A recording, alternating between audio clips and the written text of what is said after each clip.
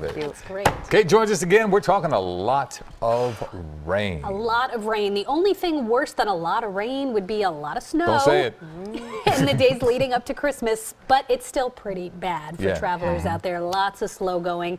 The worst is overnight tonight, and then by midday tomorrow, the worst is going to start to move out. But okay. overnight tonight, we could pick up one to three inches of rain. my goodness. Possibly even some higher amounts. That's right, because Yeah. we still have saturated soil from the storm that impacted us just this past weekend. We've dried out pretty nicely over the past couple of days, but it's not going to take much to start flooding once again. And if we get into some of those heavier pockets of rain, I am concerned about isolated areas of flash flooding as well overnight and into tomorrow morning. So let's get right into it. We'll see what this looks like. We'll start off right now in Philadelphia.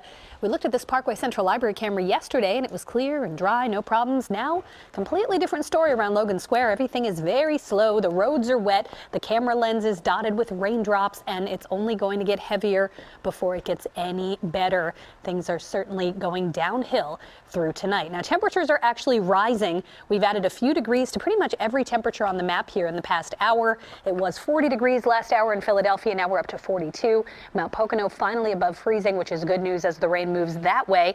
And we're in the 50s here in Atlantic City, Millville, Wildwood, and down into Dover. So warm, moist air lifting in with this system.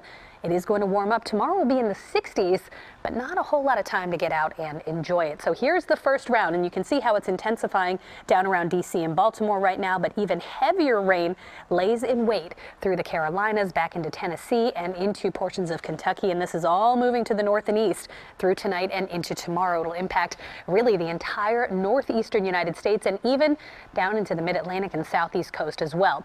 11 o'clock, we start to see some of the heavier downpours move through. Make sure you tune in right back here at 11. We'll have the latest on a very active radar picture. Overnight, same story, 3 a.m. Look at these heavy pockets of rain. If we get stuck under one of these, any area that sees this could see an inch or two of rain in a short period of time, leading to the risk for flash flooding. 7 a.m., rain and thunder. Then by midday tomorrow, the heaviest starts to lift into southern New England.